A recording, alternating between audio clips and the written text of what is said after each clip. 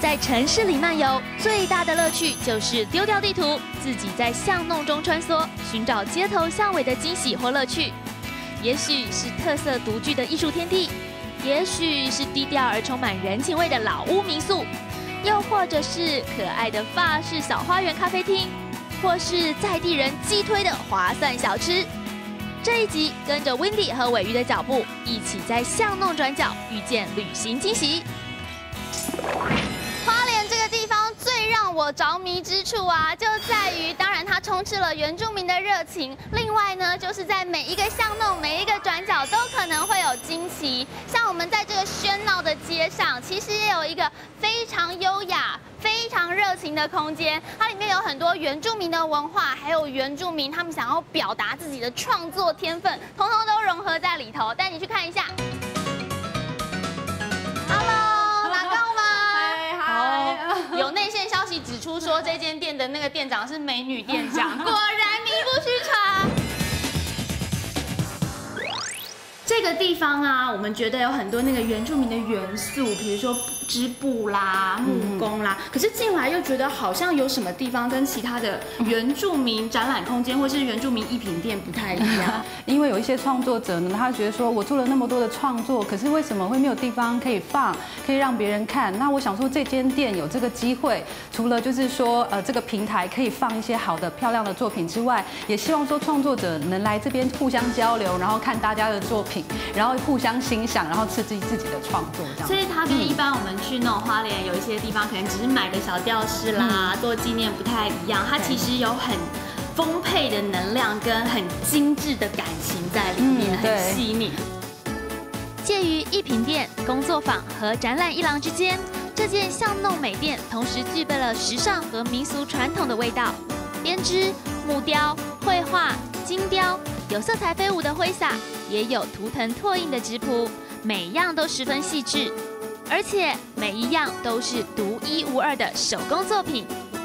那些例如像这一只这一只粉红的这个猪，就是好多人会喜欢。那它这个作者是叫做布阿古雅娜，然后他这边就是曾经有一位朋友就是来的来店里的客人就讲说，这个是一只呃就是兔子，因为它这边有耳朵，对。然后我说不是不是，因为我知道布他从过去创作都是做山猪，所以我就跟他争执，我说他是山猪，他说不是，他是兔子。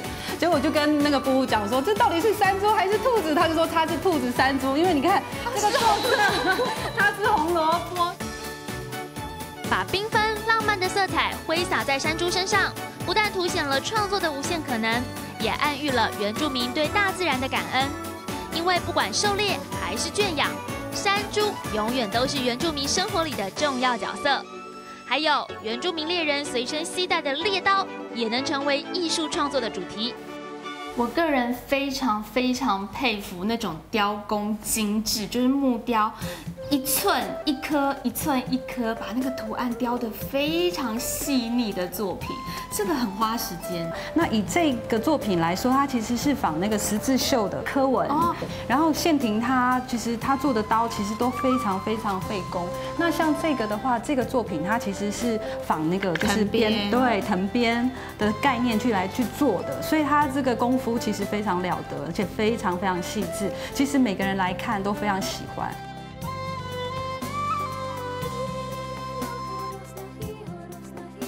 现在其实有一些年轻人，其实真的很想保存，就是传统文化，也真的去学习，就发现其实是真的困难的，但是他们真的很用心。其实拿到了这个空间呢，也是这样子一个充满了力量的空间，希望把艺术还有原住民的这一些文化通通找回来。所以呀，如果你散步在花莲的巷弄当中，不要忘了进来找他聊一聊，他可以告诉你好多好多的原住民故事哦。这里，每一样作品都有由来，都有生命，都有艺术家浓烈却内敛的情感。哪告说，未来也会把二楼的空间规划成创作区或艺术讲堂，让来到花莲的朋友都能近距离和原住民艺术家互动，了解他们的文化，吸收他们的能量，然后跟着传递他们的热情。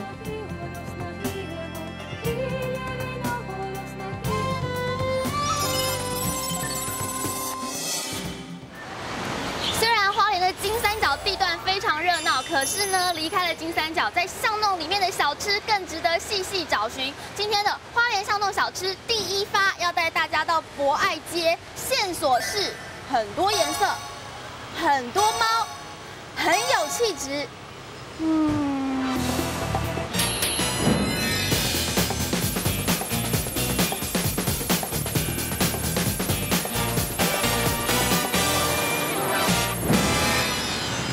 知道了，就在那里，一定没算错。猫颜色、气质，听起来似乎是西餐厅才有的特色。但是 Wendy 现在要去的这间巷弄店家是卖米粉汤和黑白切等台式小吃为主。不要怀疑，卖小吃也是可以很有艺术气息的啊。颜色，而且也好多猫哦。这些颜色、这些猫呢，通通都是在这个小吃店里面，而且这些画作都是来自于紫梅姐的手笔。紫梅姐你好，你好，你好。紫梅姐，我们现在这个餐厅呢，它是一个米粉汤的小吃店，可是有这么多的画作，让人觉得哎，好像跟一般的那种小吃摊米粉汤黑白切不太一样。这些都是你画的吗？是是。你为什么会画这么多画摆在店里？啊，因为我们的小老板娘喜欢猫。啊，小老板娘跟你的关系是？是姐姐的女儿，侄女。对对。哦，所以你就画了很多猫送给她。对。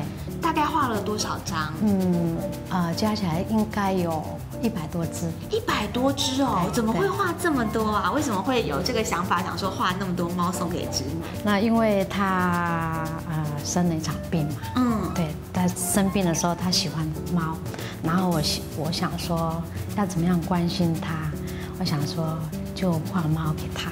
那时候还不会画，但是我就每一天画一只猫给他。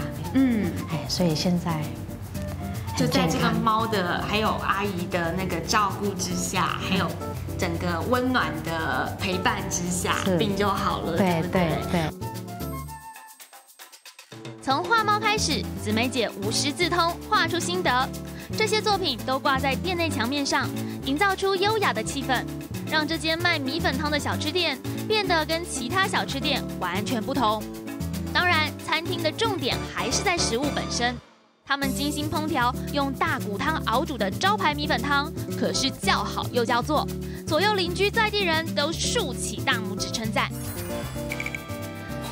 除了店里面的招牌米粉汤之外呢，其实他们还推荐了另外两样，一样是腿裤饭，另外一样呢就是综合蔬菜。这三样可以说是店里面的招牌人气 top three，第前三名都在我桌上了。一定要先带大家认识一下这个米粉汤，因为米粉汤的汤头啊，他们本身是用大骨还有很多的那个骨类肉类去熬出来的，所以是完全不加味精的哦。你单喝也会很好喝。哦，真的，真的，真的，真的，就是很香很甜，然后又很清爽的感觉，不会说做的很浓郁，非常清爽，但是那个淡淡的香味会不停的冒出来。然后像这里的综合蔬菜拼盘，也是很多客人来都非常喜欢的，因为他们都是用当令当季，像现在有什么蔬菜，现在当季什么丢席，他们就会切什么给你吃。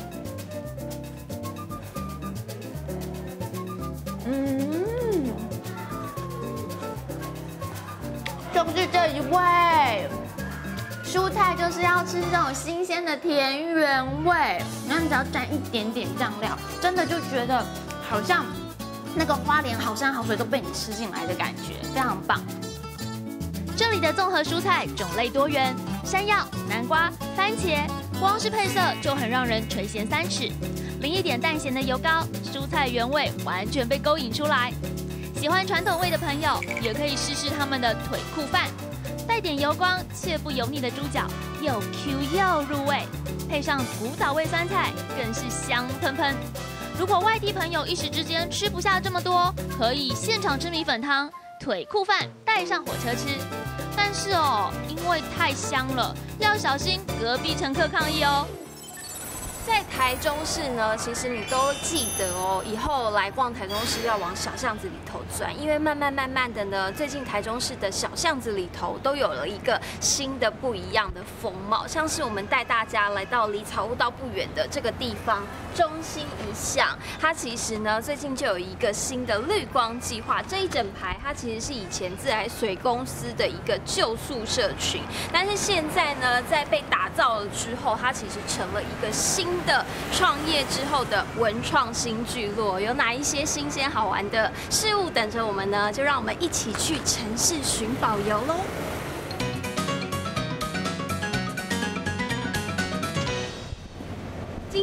在这边要跟我们一起逛这个地方，逛这个微创聚落的呢，在我身边欢迎微创文化的 Peter，Hello，Hello，大家好。哎，这个空间是你们打造的，对不对？嗯，这个空间就是我们范乐喜团队经营的一个平台空间。那可以带我去逛一逛吗？当然了，没问题。好，那我们往这边出发喽。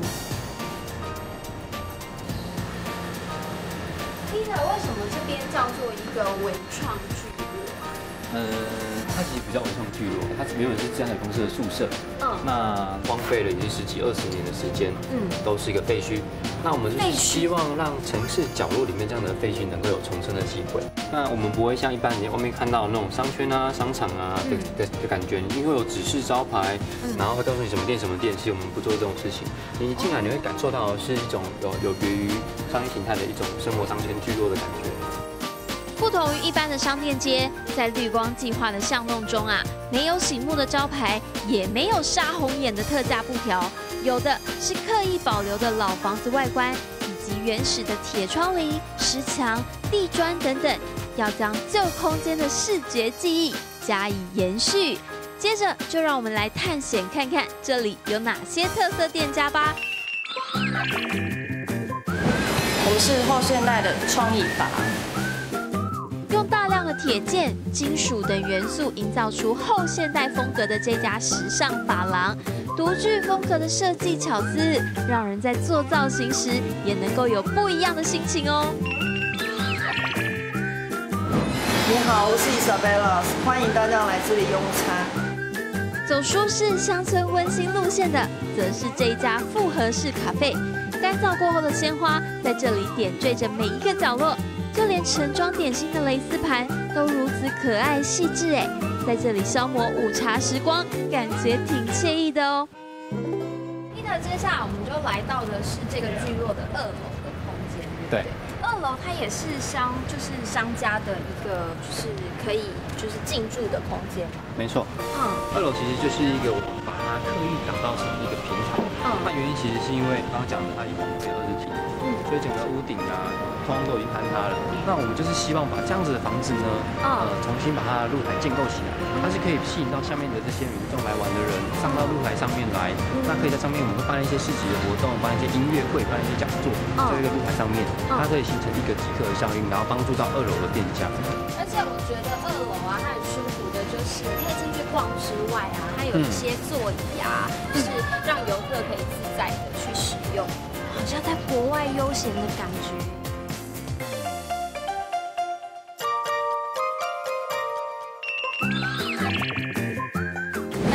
我们是以旅游和异国料理为主的小厨房，欢迎大家来走走看看，感受一下旅游的气氛，也计划你的下一段旅程。小小的店面虽然不大，却是个欢迎旅行同好互动交流的好空间。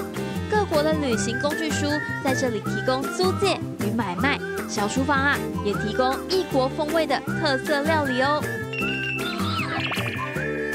这里是一家传递台湾的味道。欢迎你一起来品尝台湾。来自全台各地的小农特色商品被汇集在这个空间当中，像是凤梨世家冰淇淋、龙眼蜜手工皂，还有各式手工果酱等等。想要全台挖宝寻找产地特色吗？来这里就对啦！距离绿光计划不远的巷弄中，还有一个满足甜点控的所在。就是这个甜点森林，像是日本自由之丘的甜点森林般，在同一栋建筑物里呀，容纳了好几间的甜点小店，形成了一个可爱的甜点村落。我们不是带大家去逛绿光计划嘛，其实呢也走了一些路，脚儿有一点酸，所以呢在隔壁街哦，其实不很远，大概走路呃三分钟左右的距离，你就会看到一个甜点森林。所以我们这边呢分别挑了四种不同的甜点，当然呢要先这个消除一下我们的这个刚刚走路走的很热的这样子的一个这个暑气，所以呢我们就点了一杯冰冰凉凉的，它是其实是意式的手工冰淇淋。这边呢我们点的是它有两种水果组合而成的哦，一种是凤梨，然后另外一种呢是红醋栗，它两种水果结合而成的手工冰淇淋。我们先来吃吃看它的冰淇淋的部分。嗯，我觉得它有那个红醋栗的那个酸，但是它有凤梨的那个甜味在里头，然后结合了两种水果的不同的那一种香气啊，它的那个滋味是很丰富、很跳跃的，搭配上有一点那种微气泡的感觉，就会有一个很舒服消暑的滋味。好，接下来呢，我们要来吃的就是刚刚有提到，这边有一家甜点店呢，他们用了非常多荔枝，然后呢去做成各式各样的甜点，其中呢 number one 第一名的就是他们的马卡龙。这边呢，我们选择的口味除了有荔枝之外，还结合了玫瑰，所以我一拿起来就闻到它有一个很芳香的玫瑰气息。我来试试看它的口感。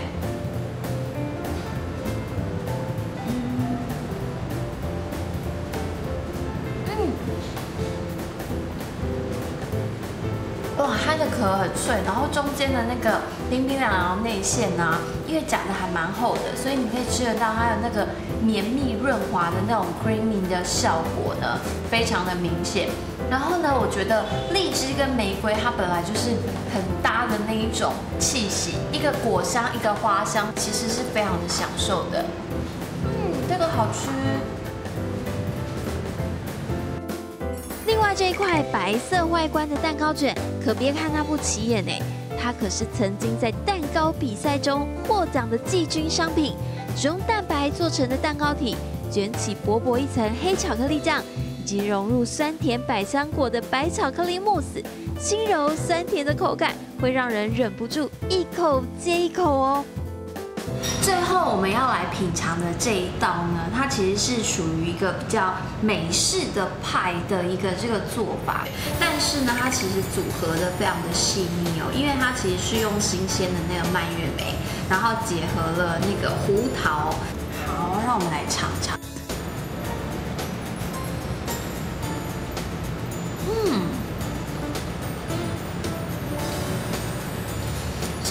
的杏桃呢，咬下去啊，非常的香。然后里头呢，蔓越莓的那个滋味是酸酸甜甜的气息，还带有一点果肉当中啊。虽然它烤过，可是还会有那种果汁溢出来的那种感觉。然后呢，再加上胡桃的那个呃脆度，然后还有它的香气，还有底层的那个派皮稍微有一点奶油的那种香气，它层次也是非常的饱满，然后呢，非常的多层次的。哎，这个派也很好吃。嗯，来到台南呢、最棒的地方就是我们可以去住老屋，有很多老厝改建的民宿呢，其实都非常有味道。可是我们今天要去的这一间，我有一点给它找不到，因为那个据说它非常的难找，在巷弄里。哎，十九、十八啊，好像是这个呢，好像是这里，好像是这里。啦，这一个你看这巷弄，怎么可能经过大马路的时候会注意到它？一定要熟门熟路才找得到的，是这里，应该没错，进去看一下。安平的街头巷尾卧虎藏龙，许多被保存改造的老屋民宿都低调的隐身在小巷弄中。这次 Windy 寻找的不只是老厝，还是回乡青年亲手打造有美丽庭园的特色民宿。走进来之后啊，芳草碧连天，有一种柳暗花明又一村的感觉。不过我还是要讲，小胖，你们家真的很难找呢。我跟你说，这样子刚刚走进来有没有？走进来之后啊，就想说，哎呀，不好找，不好找，在巷弄里。然后走进来看到小胖坐在这边，很悠闲的摇着木马。就觉得啊，真的是走进了不一样的时空，不一样的生活步调，然后不一样的环境氛围。你自己当初是怎么找到这里的？因为不好找啊。当初其实也是下雨天呐，就两大概两三年前回来的，回来台南的时候，嗯，就骑摩托车乱逛，从巷子口呃经过这个地方，外面看到在贴一个猪的那个招牌，红字条那种大，嗯，对，那我就想说，要不然打个电话问问看他有没有租好。他说：“你先自己把门推开进来看就可以，随便你就对了。但是进来一看的时候，就看到呃，我们家有一个龙壁，嗯，还有这个呃庭院，我很喜欢。龙壁。对，龙壁是什么？就是哦，我前面这一块有那个龙的浮雕的石壁。哎，龙壁这种东西不是大明帝国或是大清帝国，我大清命脉就是靠这一片龙壁来延续的，不是那时候才有的东西吗？”其实当初我也问了房东，就是这个北北说，哎，怎么会有这样子的？那他们说，在他出生的时候就有这一块龙壁。哇，好神奇哦！而且它的龙上面的龙的雕纹，其实到现在还是非常的清楚，蛮清楚。所以这边是宝地耶。这间老屋已经有超过七十年的历史，龙壁正对主屋，庭院宽广，流水潺潺。这种长形的格局，在传统闽式建筑里称为单身手。空间虽然比三合院小，但感觉更像是专属于自己的小空间。哦，我要融化了！我真的很喜欢这种老房子的感觉。你看进来啊，其实就是木梁，然后红砖，这些都是原本的结构吗？呃，不是原本的结构，有在重新对重新结构结加强。嗯，对。所以你也是边做边学。对，边做边学。那像这个红砖的部分是也是贴新的砖上去？对对，它里面就我用钢骨把它包起来。嗯。可是像你自己觉得在做这个房子的时候遇到最大的困难是什么？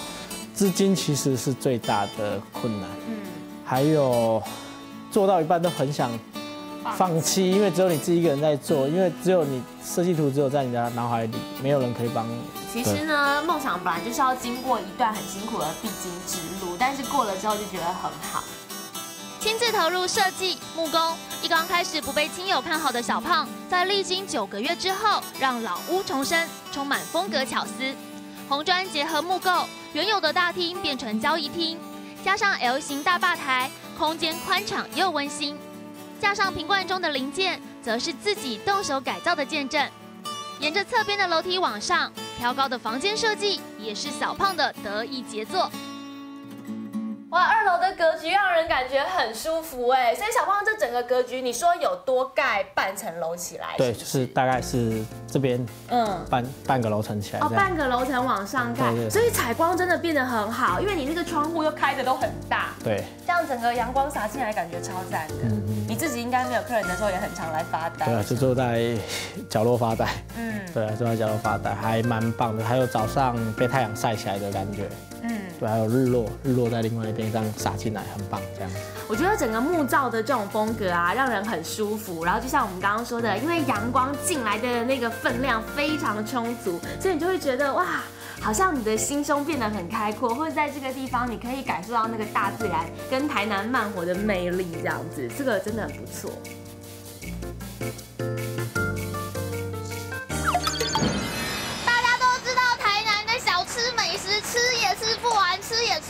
而且你来台南吃美食，你一定要记住一个心法，那就是早起的人儿有老店吃。你知道台南的老店啊，都是开早上，有的卖到中午，哎，它就不卖了。所以呢，你一定要早起。现在就带大家早起的人儿去吃一个在地人偷海狼的假拜米家，到底是什么嘞？待会告诉你。清早的安平运河还朦朦胧胧的，有种没睡醒的悠哉感。但是运河对面这间在地人的早餐店却已经人声鼎沸，生意超好。在地人的早餐不吃汉堡三明治，而是最新鲜的虱目鱼料理。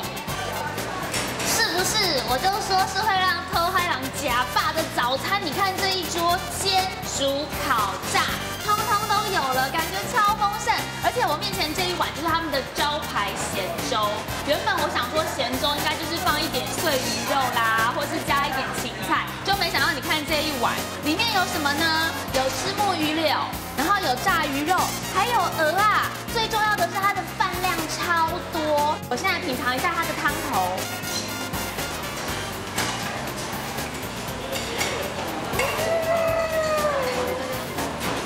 好甜哦，超好喝的汤头。他们这个汤啊，都是用鱼骨去熬煮的，慢慢熬煮出来。然后因为你知道本身。石目鱼的香甜之外，那个鹅啊的香也融在里面了。还有油葱酥加的恰到好处，非常棒。鱼柳条一定要试试看。嗯，很软嫩，很甜，很鲜美，好好吃哦。然后我跟你说，你吃这碗咸粥的时候啊，你要搭他们的那个招牌小菜油条。如果只吃油条的话就不稀奇了。他们的油条呢是淋上了肉燥的油条，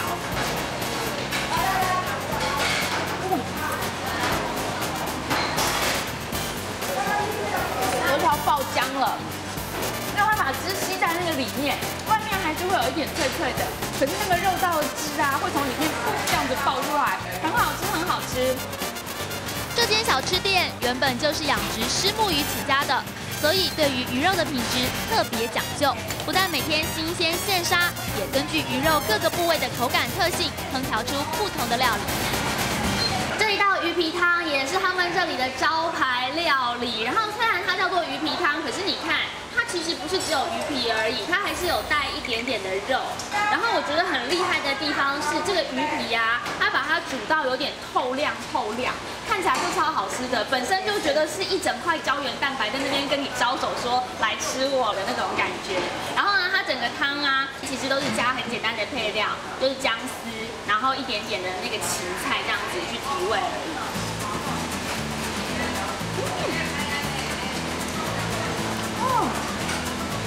鱼皮跟我们平常想象的鱼皮不太一样哎，你知道我常常吃鱼的时候，其实都会把鱼皮挑掉，因为都会觉得啊那个鱼皮很难咬啊，或者是黏黏的。它这个煮的刚刚好，就是它有那个胶质在，可是不会让你觉得很黏牙，反而是咬下去它很快就融掉了，然后跟鱼肉一层合在一起吃，真的好赞哦！哇，这个入口即化的感觉太幸福了啊！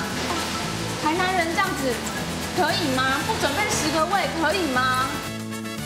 不准备十个胃真的不够用，因为还有这道煎鱼肚也很诱人，表面煎的金黄酥脆，鱼肉本身的汤汁却一点也没少，肉质更是又软嫩又鲜美。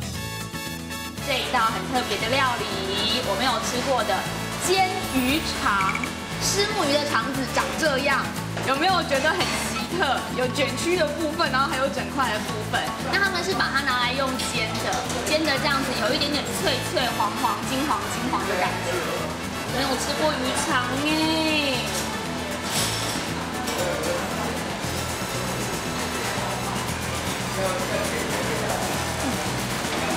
这个太适合配可乐和啤酒了啦，整个就是要把可乐、啤酒拿来配啊。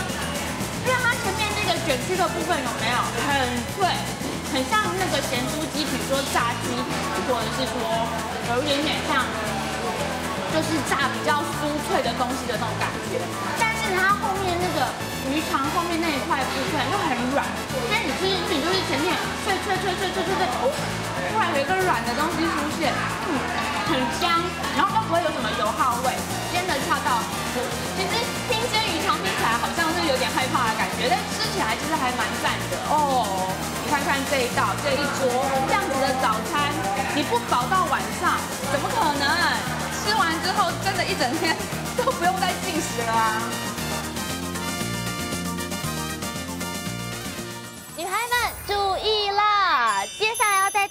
的这个地方呢，几乎百分之九十九点九九九九九的女生都一定会喜欢。这个地方是在新竹市区里面一个藏在巷弄里面的小花园。这个小花园里面有很可爱的手作物，有很多美丽的植物，同时还有食物的香气。我们一起去享受这个美丽的所在吧。这间小花园其实是充满乡村风格的咖啡厅，店长用花园的概念来设计，许多小小的盆栽在门口整齐站岗，十分引人入胜。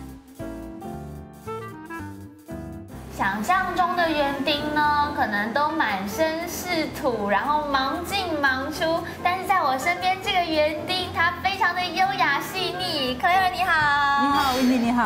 哦，你们这个空间真的非常漂亮，它就是一个小花园的概念，对不对？对。你怎么会想要把花园搬到室内来呢？呃，因为我很喜欢种花，嗯，好，那又很喜欢有咖啡馆的感觉，所以就想要打造一个，呃，感觉在咖啡馆又在花园里面喝咖啡的一个环境。而且你们的小花园刚好就在马路边的巷子里，所以就觉得啊，好闹中取静的感觉。那小花园里面这一些花花草草啦、手作物，也都是你自己打造的吗？啊，对啊，都是我们自己就慢慢的花了四个月时间慢慢打造的，很细致哎。然后在我们旁边就是后面这一个，它其实。就是阳台，阳台就是想要把它打造成阳台的空间感。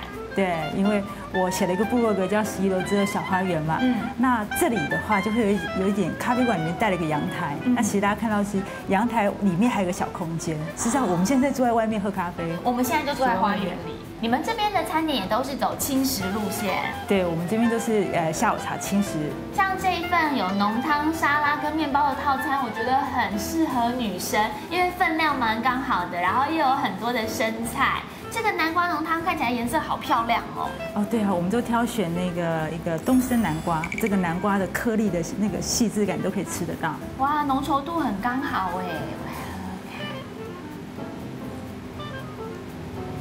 哇，好新鲜哦！有果园的味道。东森南瓜它的甜度不会说非常非常甜，可是它有一种清爽的香气。嗯，就是呢，还是你们有偷加什么？我们会加一些香草，还有那个芹菜来提味。对对对，是芹菜、香草。它那个南瓜的甜度之外，就会有一种清清的，真的是很像好多的那个植物都同时有味道冒出来，很滑顺的口感，柔柔滑滑的。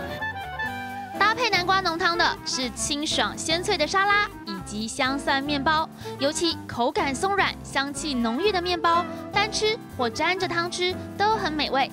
至于女孩们最爱的午茶，当然首推缤纷又香甜的松饼套餐喽。你们的水果放的超多的，呃，我们希望大家可以吃到又有松饼又有水果，然后非常营养均衡的一个松饼。嗯，松饼也是你们自己调的吗？对，松饼的粉我们也是自己调制，然后我们会加那个香草荚的那个香草籽。好，我要来尝尝看松饼。嗯，甜度很适中哎，而且你们撒的糖粉非常的刚好，嗯，吃下去那个香香松松的味道，真的是有那种。香草的香气在里面，所以不会像外面吃到的松饼口味那么浓重，反而是比较清爽的。而且外面很脆，然后里面还是松松软软的，很好吃。如果不想要松饼那么多的分量，来一小块布朗尼也是很不错的。浓郁的巧克力味，不会太甜，还带点核果的香气，是打从心底会微笑的美味哦。的空间里面用餐，就有一种像在南法度假的悠哉感。我真的也很希望自己可以有这样的一个空间呢。那你可以适合来我们这边上课。上什么课？我们这边呢每个礼拜二或三，我们会上一些青木工，或一些园艺组合，或是一些小花艺的课程。哦，所以就可以把你的手艺都学起来，然后回到家里面应用在自己家中。对我们很多客人其实来这边，他是想要学这些这个小小的 DIY。太好了，来这里又可以度假，又可以吃美食，又可以吃下午茶，然后又可以学到东西，回去打造自己的小空间，这样的秘密花园你怎么能错过呢？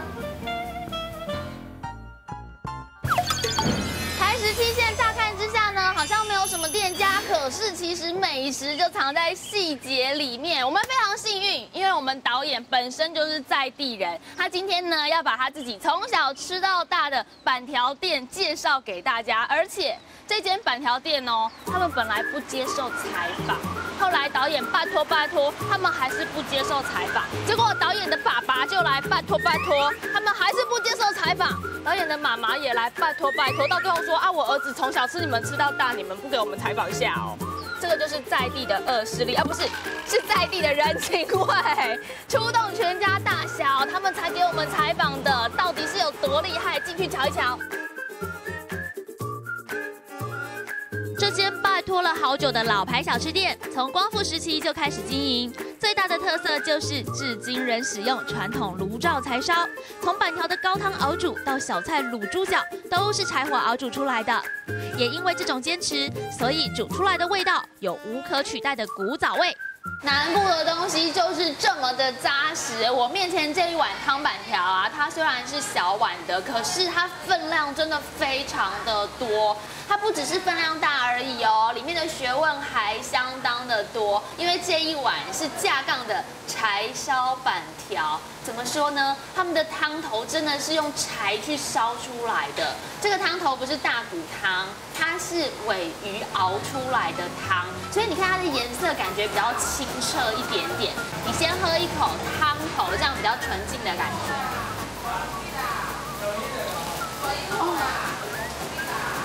尾鱼熬出来的汤头真的不一样哎，它会有一种和风日式的感觉，好像那种日式高汤，清爽清爽，然后淡淡的香甜，会让你觉得哇，整个早上的那个精神非常好。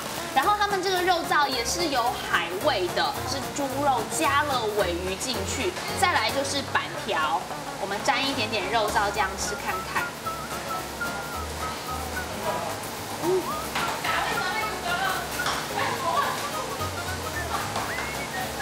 肉燥好油哦，因为它的肉燥还跟那个油葱酥整个全部都混合在一起，然后板条啊，真的它的那个厚薄度刚刚好，因为它那个厚度你可以完全感受到有一点点弹性，可是呢，因为煮的非常的绵，就会觉得啊吃起来好赞哦，这个才叫做真正的海陆双拼，最古早味的海陆双拼就是这一碗，好不好？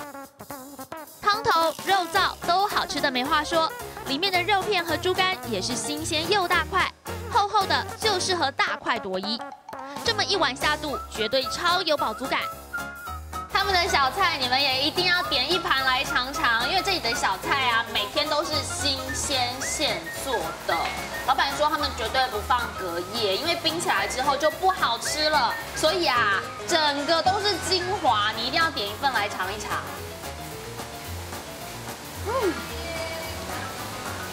好有弹性，真的就是要文火这样柴烧去卤啊，你才会卤到说外面这么弹，可是里面又很软，而且这个卤味就是古早味的那种感觉啊。你知道古早味那种酱油就是北熊低北熊姜，然后你就会觉得淡香淡香的，很妈妈的味道，这种就是厉害。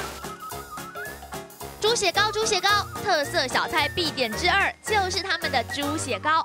外层很软，内层却非常有弹性，而且香气十足。如果再沾上店家自己特调的酱料，吃十块都不会腻。重点是，不管板条或小菜都非常平价，难怪学生、农夫还有工班都不约而同一致推荐。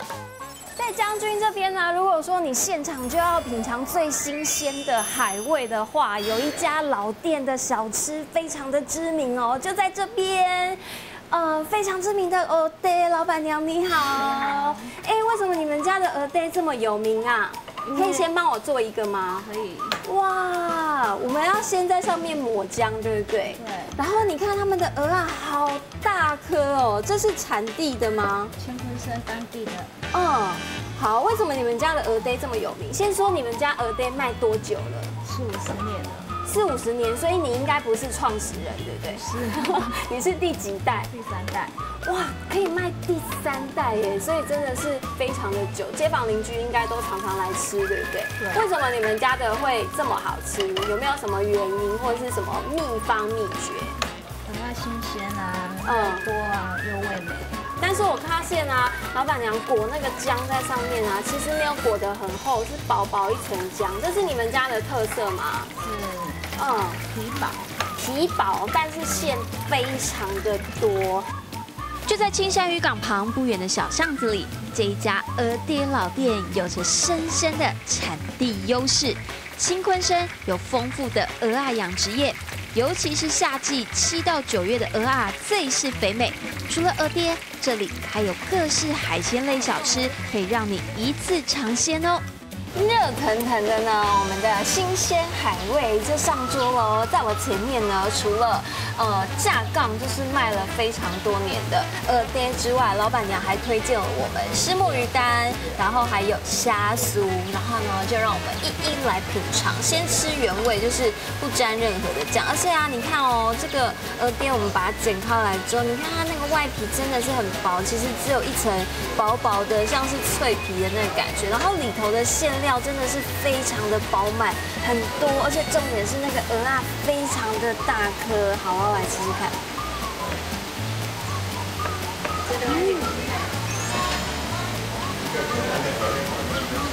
哇，下去它那个鹅啊是会爆浆的耶，而且呢。它外面那个脆皮啊，脆脆咔咔的，好像是在吃饼干一样那样的脆。里面的那个蔬菜啊，因为它有韭菜、芹菜，然后还有青葱的那个脆度，然后其实它那个蔬菜还是可以吃得到一个爽脆的口感。然后呢，满足爆浆的口感，其实就是来自这个非常大颗的鹅啊。你看哦，它虽然经过这么高温的油炸之后，它还是没有缩很多，还是维持很硕大的一个颗粒在这边。满满的精华海味就在这个地方，难怪可以卖这么多年，而且祖传三代，真的是非常美味耶。这道裹了微粉现炸的鲜虾酥，是用一只只现捞的沙虾带壳酥炸而成，再撒上胡椒粉来调味。咬下去，外壳酥脆，虾肉紧实又弹性，一口一口的当零食吃，顺口好吃到停不下来哦。然后另外呢，我们要来吃这个，也是。这边的一大特色哦，它是那个虱目鱼柳，然后它其实就是个头还蛮大的。你看它是整条的那个虱目鱼肉，然后下去炸。仔细看呢，它还有带着一点点微微的鱼骨，可是不用担心，因为它也是把它已经炸到那种香酥的，所以我觉得它应该是可以一起，就是把它咬下去是那种香酥的感觉。我来吃一下。嗯。果不其然，它的那个骨头已经炸到酥化的感觉了。然后呢，所以你咬下去，它是脆脆的那种滋味。所以它就算把它炸到像是那种鱼干的感觉，你也不会觉得吃起来很干柴。它有里面的那个鱼油的一个润滑度在里面，所以吃进去是非常的香的。这个好香哦！天气真的是热爆了。买一点凉的好不好？好，买凉买凉。哎，不是啊，不是这边，我带你去吃冰，而且呢，我们去吃的是古早味的手摇冰哦，有一摊在那边大树下的，有没有？老板娘你好，哎，哎，我听说你这边有那个很传统的手摇冰，怎么是手摇冰啊？呃，等一下啊。哦。哦，这旁边都是放满冰块啦。哎，对，我们在制作过程的，就是撒一层冰，然后你就是要这样沿着边边再撒一层盐，嗯，然后这样子，你就这样子一直摇，我每摇十五分钟，嗯，我就是要把内壁的这个铲下来。对对对，所以要大概摇多久？两个半小时。好久。在年轻人的 live house 里流行听无插电音乐，在柳营这则是流行吃无插电的手摇冰啦。这三个北梯亚打造的特制冰桶，是老板娘家里祖传的宝贝，现在可是找都找不到喽。而用这种粗盐加冰块降温的传统方式所做出来的手摇冰，滋味如何呢？好的，老板娘，我要点一杯百香果的。好。我一打开来就好香哦，嗯，我们的百香果是新鲜的百香果做的，全部都是刮起来做冷冻，然后才放下来做冰，所以不是用那种调味果汁，是用新鲜百香果，是，哇，好健康哦。对，现在应该很少看到这一种就是手摇冰了，对不对？很少很少，哎，好。像连制作的那个工具都没了，嗯。冰哦，好透心凉哦。而且我觉得这跟一般机器打出来那个冰沙感觉不太一样，它是很绵，对，它很绵很细。然后其实进到嘴巴里面呢，你其实不会有那个太沙沙的颗粒感，一下子抿一下就化掉了。嗯，好，很绵细的感觉。一杯百香果吗？哦，好喝耶。小小的摊子还卖古早味的红茶以及绿豆沙口味的手摇冰，都是适合夏日消暑解渴的清凉滋味哦。其中绿豆沙口味的手摇冰最是受欢迎了，因为在炎炎夏日吃不下饭的天气里，来上一杯料多实在的绿豆沙冰品，据说不但消暑解渴，还能增加饱足感哦。好，那我要点一杯绿豆沙。而且这边啊，其实呃手摇冰的就有那个百香果跟绿豆沙两种口味，对不对？然后另外还有红茶，它其实就很简单的这三种产品哦。但是你就看哦，我们刚刚在采访过程当中，就一直有客人来，一直来，一直来，买了就走，买了就走，买了就走，对不对？嗯，好。很凉哦。嗯。哎。很浓郁，但是它很解渴哎，因为我觉得它的那个绿豆沙啊，老板娘也没有把它煮得太甜腻，然后它那个甜是刚刚好的清甜，所以你那样喝下去，你还可以就是尝到绿豆它很满满的那种清甜刚刚好的香气，然后还有那种沙沙的那种口感，然后还有绵密的那个冰啊，细细刚刚好，在你嘴巴就化掉的那种解暑的感觉。哦，这一杯绿豆沙浓郁的刚刚好，然后呢细致绵密的滋味，很适合在夏天喝哦。